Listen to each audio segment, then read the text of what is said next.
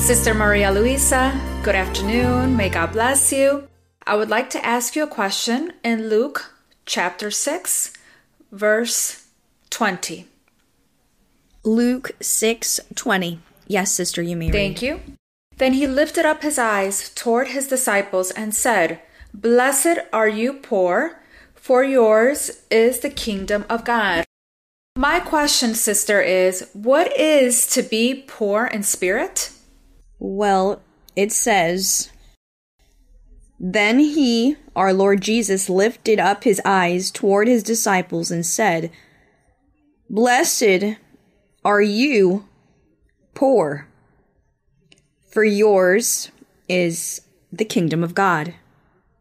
So the question is, who are the poor? Well, it was not the poor in money. It is not the financially poor, but the poor in spirit who lacked knowledge of God's word. When our Lord Jesus Christ appeared on earth in Jerusalem to preach the gospel and to preach the kingdom of heaven and to fulfill the law of Moses, he found that all of the people had no knowledge of God, that people were ignorant in regards to the things of the Lord. So he called them poor. They were poor in spirit. There was spiritual poverty. They had no knowledge. They did not know God. They did not know the word. This is why they live as they do, like sheep without a shepherd. They go to and fro many different directions because they do not know anything. So he said, I'm going to preach to them. I'm going to teach them so that they are no longer poor in the knowledge of God, but that they may learn to know God. And so the Lord began to work the miracles and signs and to speak of the kingdom and the gospel so that people could convert and turn away from sin and cease to be poor in that knowledge. So the Lord here spoke and said that this person who was poor in that knowledge still had a heart that was prepared to learn. It is said that the apostles, they were people that were poor because they did not know God's word, but God began to teach them and they accepted and they believed. So they followed the Lord, and the Lord said, Follow me, follow me, and they did. They followed him. So the Lord said, They are blessed. Blessed are you poor, because we preach to them, we teach them. And those who say they are rich, and who have it all, and who know it all, well, we will not preach to them, we will not teach them. Because of their arrogance and their pride, they have scorned the word of God.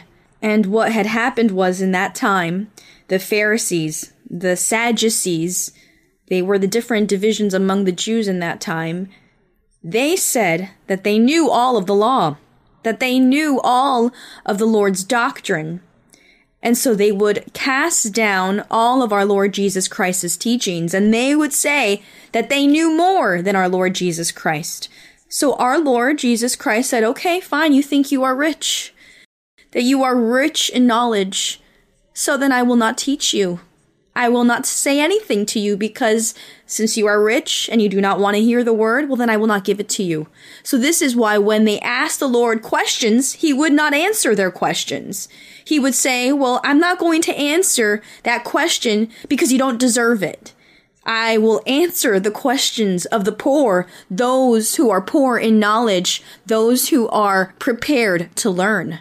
And those were the poor and the rich in that time, and even in this time as well. There are those who are poor in God's knowledge, and there are people who they say they are rich. They say, I'm a great philosopher, a great theologist. I studied in the best universities about God. I know more. I'm a reverend. People need to honor me. People need to bow down before me to greet me because I am the greatest. They think they are rich in knowledge, but truly they do not have God. And so God will say to them, You are not rich, you are miserable because you are arrogant and proud and you do not want to learn about God because you think you know it all. But there are those who are poor, like us. We were poor, and we've believed in the Lord, And now God has enriched us in his knowledge with humility. Glory to God.